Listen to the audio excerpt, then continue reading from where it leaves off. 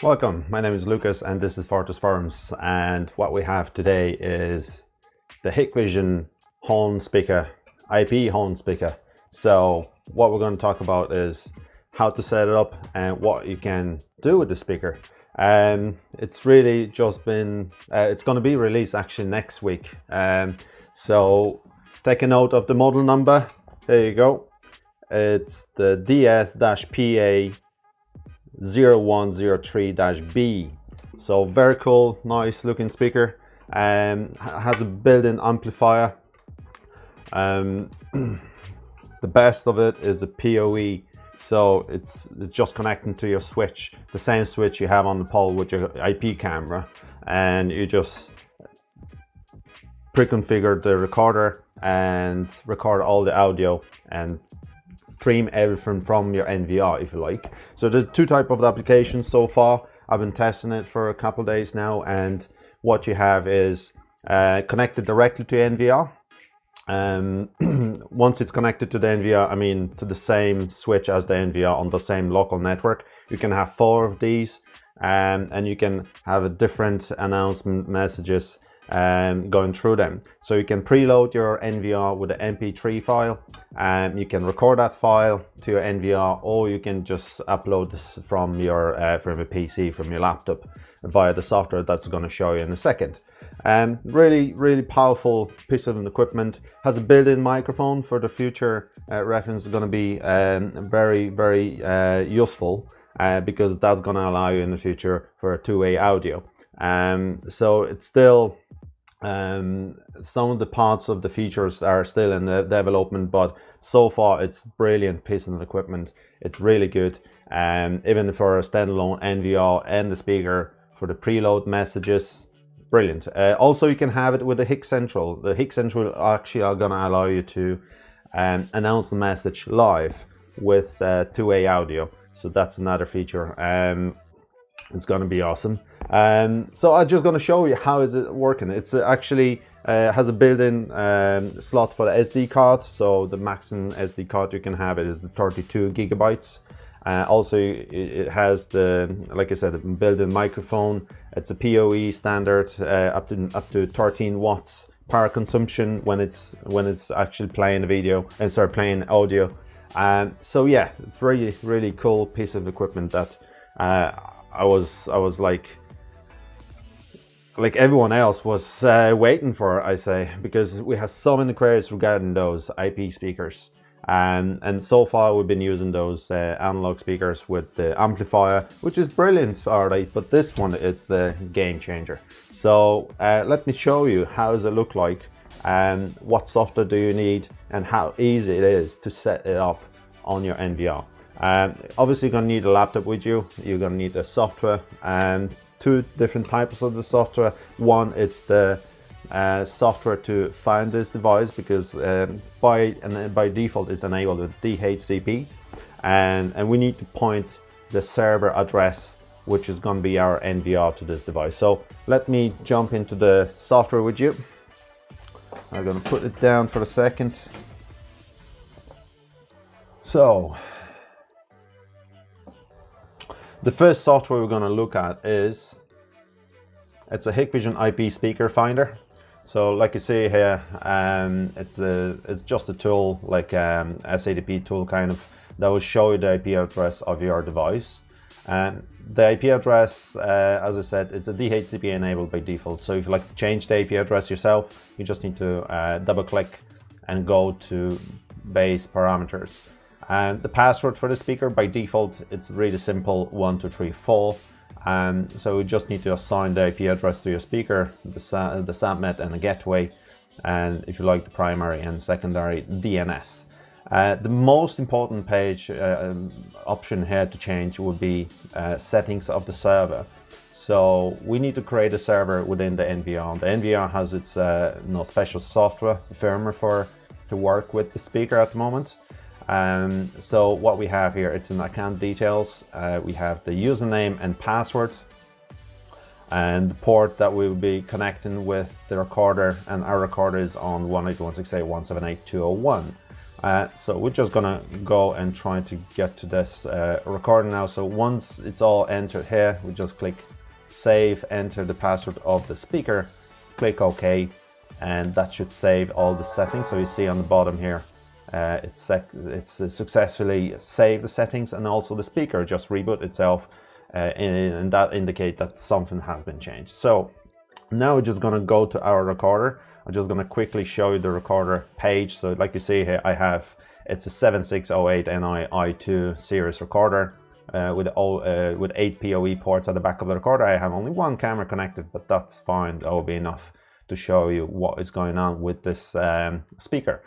So the first page we're going to go to its network and there's a new menu on the top of the page. Uh, it's an IP speaker. You just need to enable the IP speaker, enter the name so you can name it whatever you like, you know, where the position of the speaker is uh, or the pole number or so. Uh, the username and password for the communication between the speaker and and and um, and your recorder. So it's admin and one two three four uh, as password, uh, IP address of your speaker, uh, the port number, remember there was a port number 8877, that's the default port for these speakers. And the minimum speaker volume, I would always set to minimum at least 70, so you can actually hear what is going on. Uh, it's really, really loud when it's on 100, so I'm just gonna leave it on 91 for the moment. And, and you can bind this uh, speaker with one of the cameras. So I have one camera here connected like you see it's all online already. So you just click the save save button. That will save your settings and that will communicate between your speaker and your NVR uh, so once we have that done um, that's the first the first level of the setup we have here. So it's the speaker camera NVR uh, where you can use such a speaker obviously like in any place that you need to announce the message. Uh, like as I said this kind of setup will allow you to announce the preloaded messages in the case of the line crossing, intrusion detection, uh, motion detection, or uh, alarm input of the recorder or the camera been triggered. Um, so let me let me trigger uh, the alarm input. That would be the, the best way of doing it. So like you see here, I have our alarm input uh, already selected. And when you go to the play, uh, play, file name, I have two files. None, it's just the silence and alarm. I just pre-configured alarm. So before I select the alarm, I just like to show you how I've done it. And so in order to upload an audio to your speaker, to your recorder actually, uh, you need to use the IP speaker tool. So there's another tool that Hikvision released as well. It's the IP speaker tool. So you just need to add your recorder to that uh, batch, like it's like a batch configuration tool. It's a slightly different layout. Um, so we have our recorder listed and, there's a few additional icons that will allow you to upload uh, an audio. So the first one is here, uh, uh, it's an audio upload in there. So you can see I already upload some audio before and you can add the file from your uh, from your PC, uh, any other audio audio MP3 uh, file. And I also add like a song. They're eight eight megabits uh, song, five minutes long song, and play it away all all the way, no problem. So it's really really powerful. Um, but also you can record your message directly from this software. So if I click record, I just tack to the microphone right now. Um, I would have to have the microphone enabled more than likely just to have it recorded right now. So I can record my message and I can just stop it and play it away. That is actually saved on your PC as well, so you can use it later on. You can copy it across different uh, speakers if you need to. Uh, so this is our um, our audio that I, I, just recorded. You can play it away, or you can delete that and start from scratch, or you can just keep adding different audios, different announcements, uh, like you know different messages, you know that people are supposed to hear. So once this is uh, this is created here, we just click OK and that's it. Within a few seconds, the software is going to send all those all that information to your recorder. So like you see here, it's it's sending information here. Um, and now we have the upload task. So whatever has been already added in, like you see here, this this um, audio has been added in already. This one is completed there now, is just uploaded, so it's just split of the seconds and it's, it's done. And, and then you have the device audio. So it's like a library of your recorder. What do you have already uploaded? So you have the none, so it's the silence alarm. It's the alarm I pre-configured before and this latest uh, record I just recorded with the software. So you can delete them, you can, you can manage all the audible warnings from here as well. Uh, so once this is done, we just close that page, we go back to our recorder and I'm just gonna refresh the page, I was gonna change the page and come back here. So straight away, when I go to file name, I have three different files and, and the most recent one as well. And so I just been recorded and alarm itself. So what you have here, it's the arming schedule, typical alarm input, like the intrusion detection line crossing, we have the same setup. And the linkage method. So you can trigger alarm output, you can trigger the send email notifications and notify civilian center, full screen monitor as usual, that's fine. But also you have the speaker. So you can select on what speaker that particular audio will be played away. So you can select speaker number one, you can have up to four speakers connected. Uh, you can select them all and they will play all together.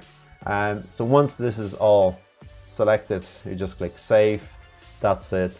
And now we can just uh, quickly test it. So hopefully it won't be too loud. I, I lower down the volume slightly. So uh, bear with me for one second. I'm going to trigger an alarm input. So one minute.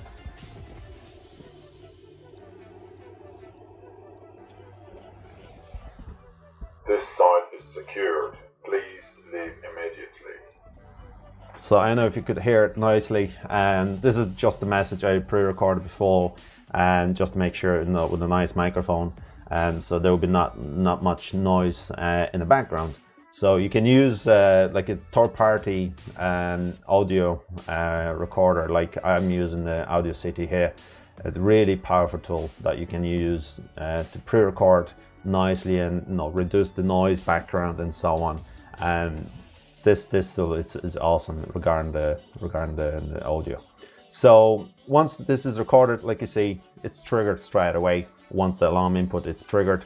Uh, the same with the intrusion detection line crossing. If I go to my intrusion detection line crossing settings, uh, I have my line crossing intrusion detection and there it is. This is me there and it just enable those features. And again, arming schedule, linkage method, again, exactly the same page like you have in alarm input settings. So you can trigger those and the alarm will be will be will be uh, announced. Uh, it could be the message, it could be a song, uh, it could be anything really that you like to play through those speakers.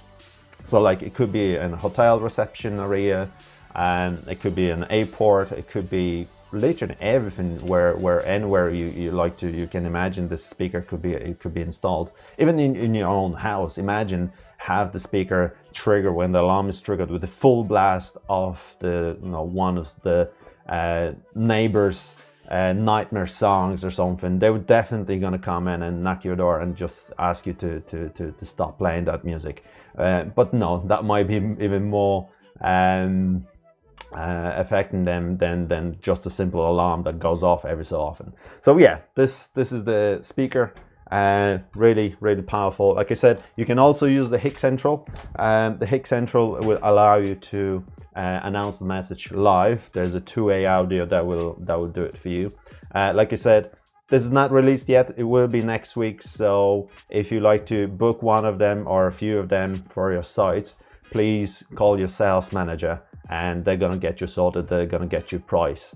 And um, so uh, I think that's it for now, but I see there's a potential in this speaker and there will be more come, more to come. So we, we're just gonna look and see uh, how's that gonna evolve and and developers will be looking after the software. At the moment, it's really, really you know, ready product, ready to go with this NVR or the HikCentral if you like to do.